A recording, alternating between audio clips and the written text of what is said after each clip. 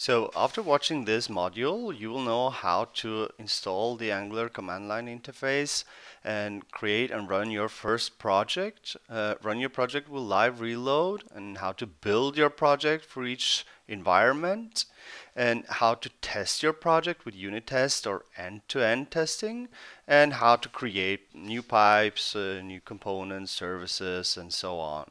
So let's get started. So first of all, I have uh, written a post uh, on the Angular command line interface uh, that you can use to follow this video. And uh, what you need to do is first install Node. If you haven't done that, get the latest version, and then you also need Visual Studio Code to follow along.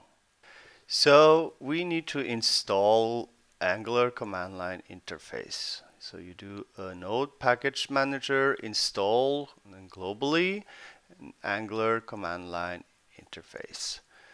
This will install all the tools you need to start working with uh, the command line builder. And uh, once this is installed, uh, we can actually start creating our new project. So I'm just going to get rid of this one. And what you do is you do uh, navigate to your developer folder and then uh, do ng new and the project name. And this will create the project for you. And once you have done that, you should navigate into your uh, project folder.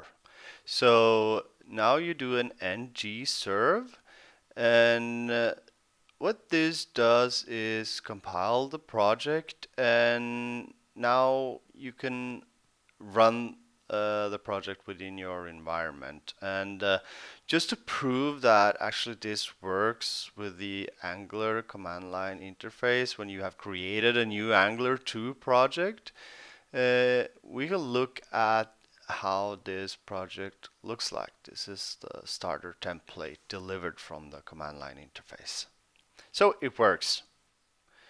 So let's stop this for a second and then go into the project and see what actually is created. So open Visual Studio Code and uh, navigate to your folder uh, and um, this will open the project and what we'll look at is the package. So here are the dependencies for this project. This is out of the box, so of course you have the Angular uh, command line interface uh, dependency. It's still in beta, but it's rapidly changing now. So we have Jasmine, Karma, Protractor, and uh, this is for testing.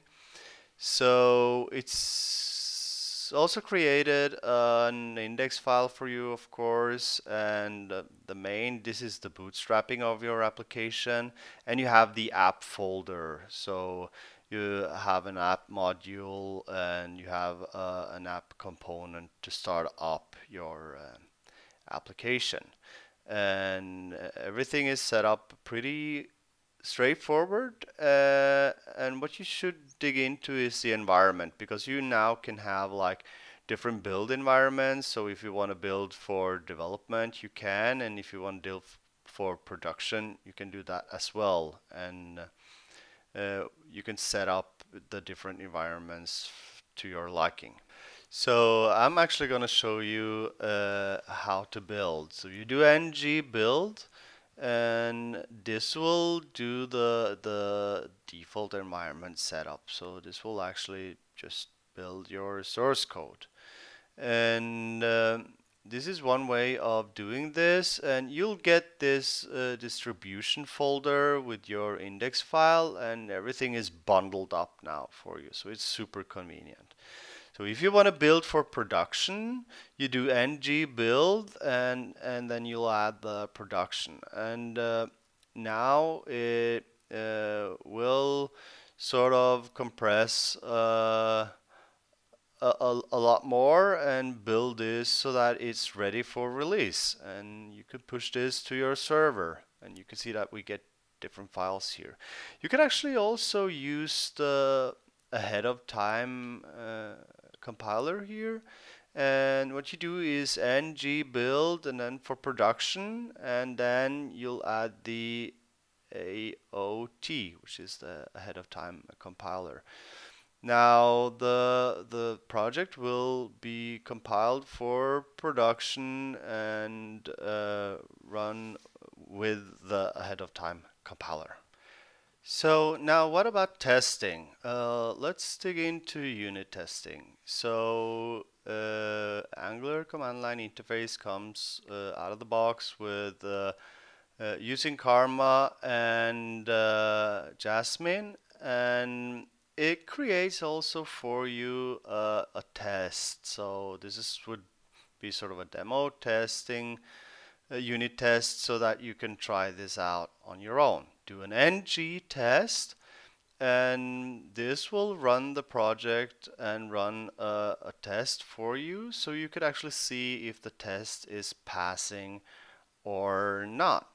So you can debug this as well and this is running now. So this is running uh, while you once and will detect your changes as well while you run this. So it's convenient. And by the way, if you don't want to have this watch going on, then you could actually do a watch equals false. And then this will only run uh, once and you could see if the test passes or not. So uh, end-to-end -end testing is also provided for you by the Angular command line interface and uh, uh, this is run via Protractor with WebDriver Manager that's a helper tool for getting an instance of Selenium server running. So here you can see that uh, there's set up an end-to-end -end, uh, uh, test for you and uh, you could actually then run and create your own tests of course and, and simulate being a user. So the way you run this is you do ng serve because you have to start the the the project first before you run this uh, end-to-end -end testing.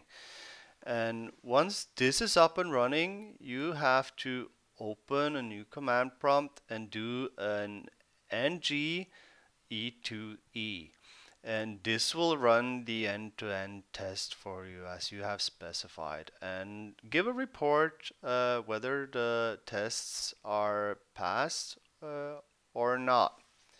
So it's super simple and super convenient. So the next thing we want to look at is how can we create a component, a class and everything. So here is a sample of component. You do ng g component and then name of the component. This is ng generate component. And this is a convenient way because it creates like all the files you need for the component, the CSS, the HTML, and even the test, uh, the unit test file. And uh, plugs sort of a shell so you can get started here.